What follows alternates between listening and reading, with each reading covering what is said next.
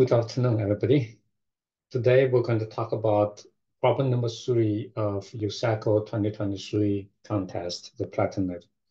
We did not do the class last week, last weekend because it was a holiday and everybody was watching uh, playoffs. Um, so let's do this problem. Um, so let's see. This is train scheduling. First thing, look at it. Memory limit is twice the default. What does that tell you? It's tell you you probably need to use a bigger array, right? So um, we see those problems multiple times. It's actually a very obvious hint. And also tell you potentially it's going to be a DP or a persistent segment tree, something like that. Or small to large merge of on a tree with big arrays. So Bessie has taken a job as train dispatcher. There's two train, two train stations, A and B, right? And then you have bunch of trains at location A and a bunch of trains at the location B, right? So then it will take time of t to travel from one side to another side. Okay, doesn't matter which direction, the time is t for every train. So you can send trains from either direction, right? Some of the trains are here, some of the trains here. But if you send a train here, you know, when this train, for example, reached here, you can send another train, right? But you can't, it's a single track. You can't send another train here. they will collide each other. So each train supposed to leave the train station at time ti. Um, or if you don't leave at the time ti, then you will have a delay. The question is, what's the schedule so that you have minimum delay, right?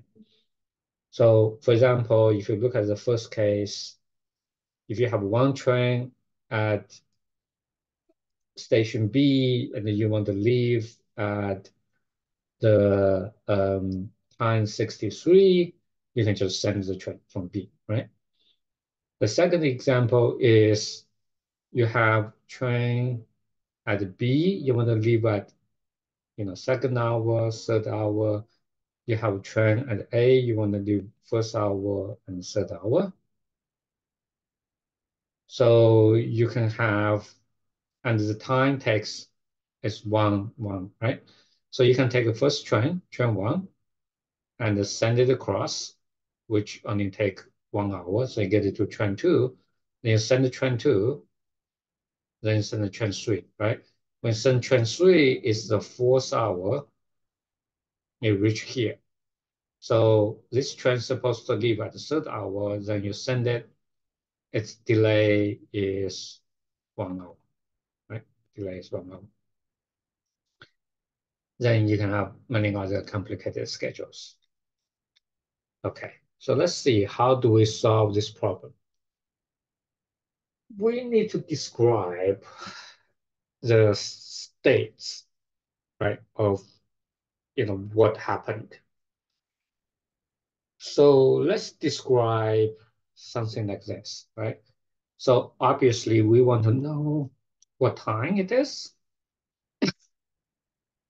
At that time, we need to know which side, you know, for example, let's say A is side zero, B is side one, okay? Which side it is. At this side, let's say how many train already left. And then on the other side, you know, at other side, how many train already left. Okay, so that's my state, right? So if I have this, then what I can do is if this is my state, right? Then I have two options. I can at state S, I can send another train, right? So that is that state become the um, time will be, you know, the next train, right? You know, let's say a plus one train, what would be the time? for that train at, at side S, you know, when is the time that train will leave, right? It, it, that gives you, right?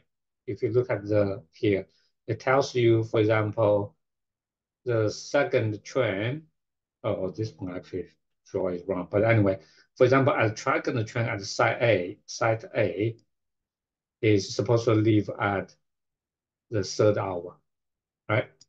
Um, so that is a state. Um, then it's the same side, and the train, you're sending one more train, and the other side you did not send train.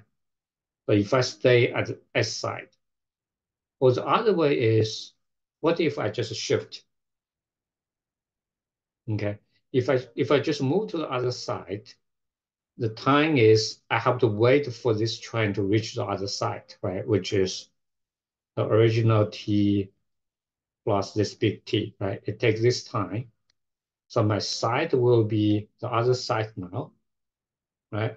The other side has so many train left, and the opposite side is so many train left, right? Because we're moving from side S to S prime, and this parameter describes how many train left at this side, right? So that would be my transition. Okay, so that's pretty straightforward. The obviously the problem is I have O n of four, right? Complexity. Uh, that doesn't work. So um, I need to simplify this. Okay. If you look at this problem a little bit more, I actually don't have to keep the the time because if you look at this time, is the time at the site S when the train, the A plus one train left. This is can already be defined by this status. It's not a fixed, it's not an independent parameter right? Same for here. It's just incremented by t. So it's not a, a independent parameter, right? So we can do this. So the on this side, this is what I can do. On this side, if we do this transition, okay, if we do this transition, on this side, I can just use the status of S a plus 1, B. That can already describe my state. Okay, the question is how do I de describe this? So then we, we have to describe, right, between site S and S prime. You could send the train once, or you can switch side twice, or you can switch side third times, or you can switch side fourth times until you're not, you know, you run out of trying to switch. So we have to describe all of those state, right? So it's basically, if you stay on the same side, it's this. If you stay on the other side, so then basically you have to describe how many times you want to switch, right? From one times to maximum, I mean, you're going to do maximum, going to do n times. You're likely to stop before that, right? So it's, you can send all the train. What could happen is you can send all the trains from this side, you know, that is, um, if you think about the, the before this uh, train A, okay? Before this train A, think about the train A minus one train, okay? When it goes to the other side, right, take T time. Before that T time, think about it. if you send all the trains, that is before that time, um, and send it forward, right? Send all the trains. Then you switch, right? Then you switch to that side, okay? Then from here, then you do the same thing. Send all the trains that you can send. then you switch side, then you do same thing. You do it k times, so maximum of n times, right? So now the complexity is it give you your um, N2 state, right? And every then you have N switches. So that give you a um, cube. So that is, look at our, um, our N is 5,000. So um, N cube is still not good enough, right? So you, you have to do it as N squared. So how do we do N squared? If you look at this problem one more time, it actually, if you look at it, when you do this, okay, it actually does not depend, if you think about it, when I sending this train, I said from here, right? I will send all those trains that I have here to other side. At the time is a minus one train plus t. This actually independent of how many train you have here. It does not matter it's B1 or B2. Then, then when you switch to this side, the state become S prime, B, and A something, right? And then you start sending those trains. It only depends on B minus one's train's time plus T. Then you send all the remaining train. It doesn't depend on how many train you actually have here. So I, for every A, B state, you actually you don't have to do this X from one to n for every AB state. You just need to do it once. So if you pre-calculate something, let's say, you know, DP2, which only depends on which side you're on, at this side, how many train already sent? Then you calculate for this, you do this calculation, do it once, do it twice, do it three times, you know, you calculate x times. You only need to calculate this once. Okay. Once you calculate this once, then for this above dp, right, for above the original dp SAB, the transition for this, you already pre-calculated, right? You already pre-calculated. This is my dp2 of SA, right? You already calculated. So so you don't so it becomes n squared, um, right? So this become uh, n squared. I mean, just like a search there, probably there's a log n. Um, we will implement it. There's probably going to be a log n for the because you have the search.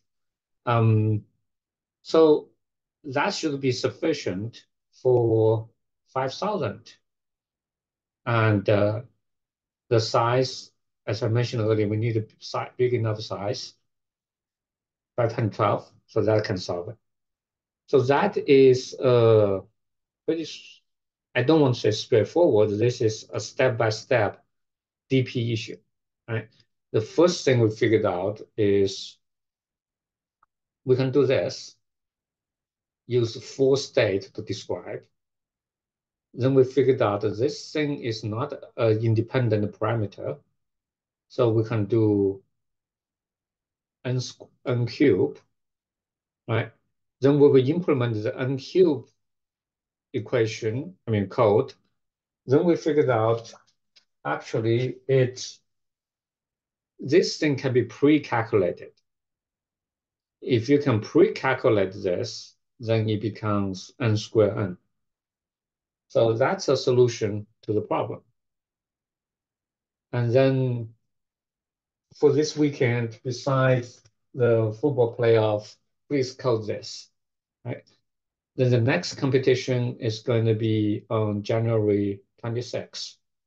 Remember, um, when you participate in the Platinum contest, um, you need to start at 12 noon. Uh, it's the standard time, right? So we had one student who started at 12 noon Pacific time. Um, so then he did not catch the correct schedule, right? Has to be 12 noon Eastern Standard Time. Okay. So code this up and review, again, go back, review the USACO guide algorithms and uh, good luck next week. And go Niners, obviously.